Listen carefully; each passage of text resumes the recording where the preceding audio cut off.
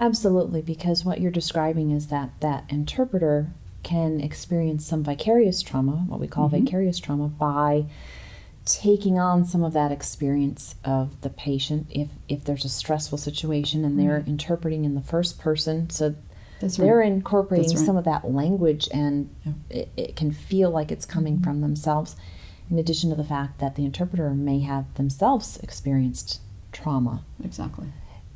Is that um, let's talk about that for a moment what what vicarious trauma means and how an individual will feel or what signs somebody should look for in themselves to Mm. realize that maybe they are um, experiencing a stress reaction Yeah.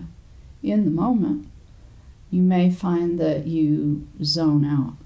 You can't really concentrate. You lost a chunk of the language that's going by because you're someplace else. You may feel your heartbeat speeding up. You may feel sweaty.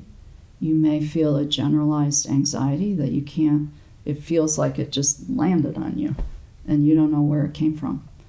You may feel dry in the mouth.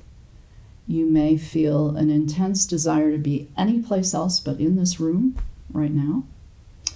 You may feel parts of your body go numb. Or, so that's in the moment. And of course, there are many more, and those of you in this audience could come up with a bigger list. But then over time, there's loss of sleep, difficulties with appetite, either binging or not really being interested in food, changes in sexuality. Maybe you don't have any libido left, or maybe you go obsessively to sex to kind of release some of this anguish. Many or or burnout. You know, you don't don't want to go into the office. Don't want to do another one of these. Don't actually want to fill out the paperwork. All the avoidance ways of dealing with it.